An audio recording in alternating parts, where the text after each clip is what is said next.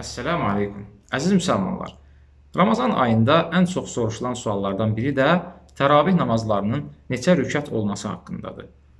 Bu haqda müsəlmanlar arasında əsasən iki məşhur görüş var. 11 rükət qılınması və 23 rükət qılınması. Təbii ki, bu görüşlərin hər birinə əməl etmək caizdir və hər hansı bir müsəlman Müsəlman ölkələrindən birində 20 sürkət qılınırsa, imamın arxasında 20 sürkət qıla bilər.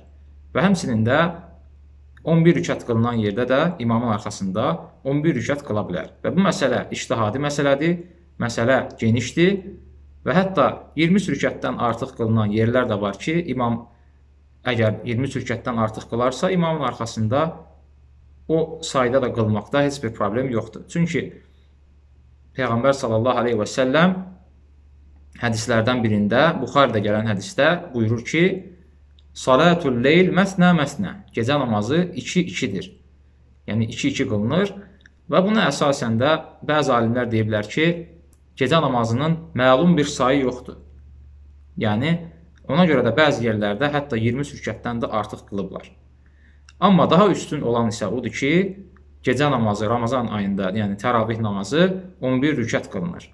Buna da dəlil Buxar və Müslimin Ayşə anamızdan rəvayət etdiyi, radiyallahu anhədən rəvayət etdiyi hədisdir ki, Ayşədən radiyallahu anhədən soruşulur ki, Peyğəmbərimizin Ramazanda namazı necə idi? Və o buyurur ki, nə Ramazanda, nə də Ramazandan başqa vaxtlarda Peyğəmbər sallallahu aleyhi və səlləm 11 rükətdən artıq namaz qılmazdı. Və bu hədis Buxar və Müslimdə keçir. Ona görə daha üstün olanı 11 rükət qılınmasıdır. Bir ləfsdə 13 rükət də gəlib, Buxarədə rəvayət olunan bir ləfsdə və həmçinin də dediyimiz kimi 20 rükət də qılınmasında bir problem yoxdur və məsələ genişdir və bu yerdən yerə dəyişilir və bu cür məsələlərdə ictihada baxılır və hansı yerlərdə imam nə miqdarda qılırsa, o qədər də qılınır. Daha düzünü Allah bilir. Və sallallahu alə nəbiyyinə Muhammed və alə əlihi və sahbihi əcməin.